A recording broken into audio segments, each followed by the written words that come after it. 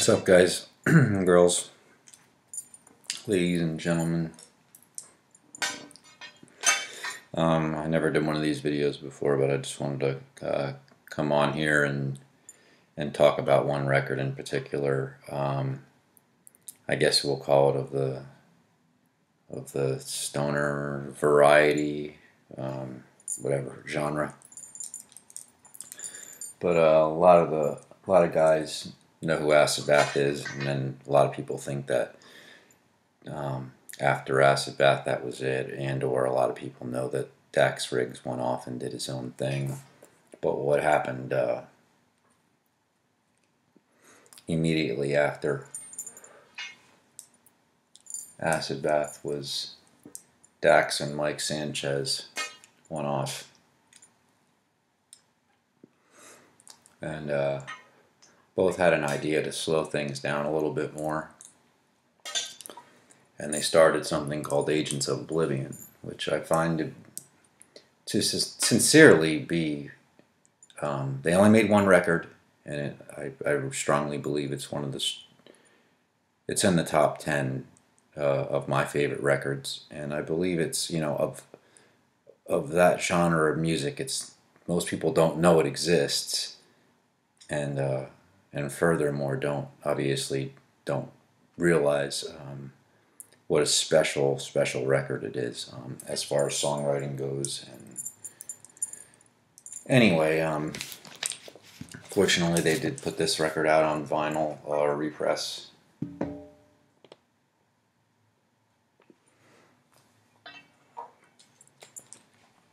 Forgive the the poor quality of this video. I'll get better.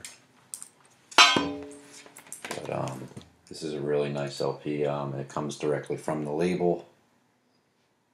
Um, couple, I think I got it for Christmas, I believe, 2017. So, um,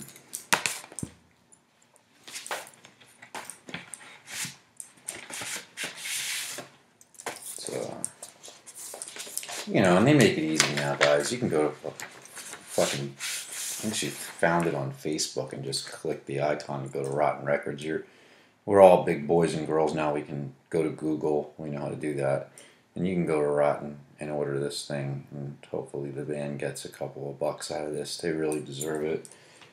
Um, this is a really, um, as far as the songwriting goes, you know, they, they're calling this type of thing swamp rock now which is is, is kind of cool because you could never identify, um, you know, acid bath. I mean, they kind of had a little bit of an industrial thing going on um, in their music, but you know, with uh, Dax definitely coming out of that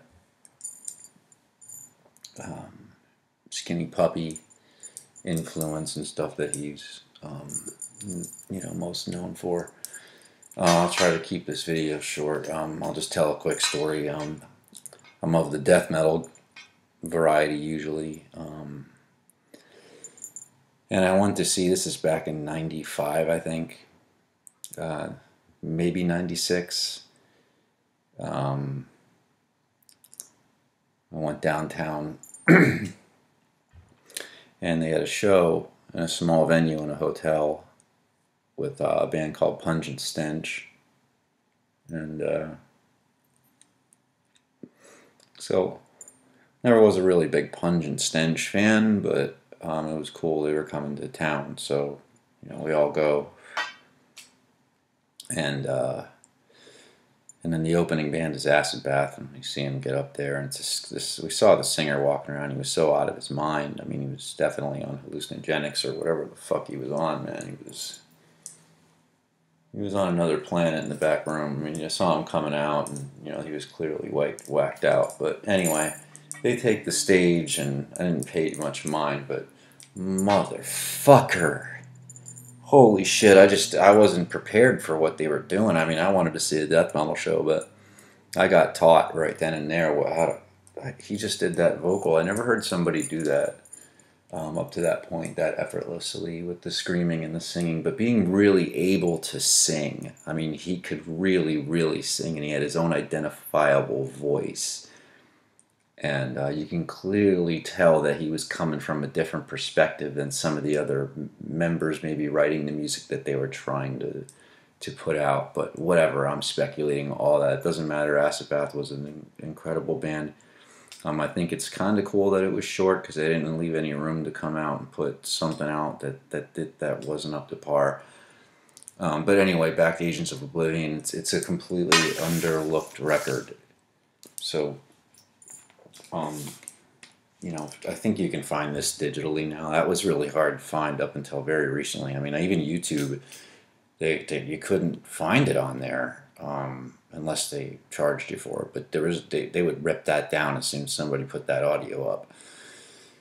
I had an original CD, fortunately, because I'm a little bit older and I was around for Acid Bath to be around, and I was around when and I was hungry for something when I knew Acid Bath wasn't available anymore. So I fortunately am of the nerd variety, always have been of, of being involved in tape trading and all that stuff back in the um, early 90s and and just always being hungry to find out what's down there or what's out there before um, before somebody can come in and rip the music apart and, and make it sound I don't know just whatever producers do just over engineer shit and whatever they do. So this sounds like a, a it's big. It's a big sounding bluesy, heavy, emotional, uh, great guitar playing, a fucking amazing vocal performance.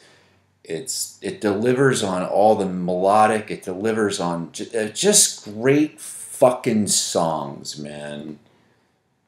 So just if you just need some really good fucking songs with some with some volume swells in it, you know the the the album hits all spectrums. I mean, there's nothing really super fast on it. There's nothing for even anybody to really dislike. You know, it's heavy, but it's it's heavy now in this era where you know everybody's heard Metallica, you know, you know, or whatever. So you've been exposed to um, some some mainstream music that is you know of the heavier variety. So even if you got some people around that so a lot of people a lot more people would appreciate this in the in the larger spectrum i'm thinking if it had the exposure.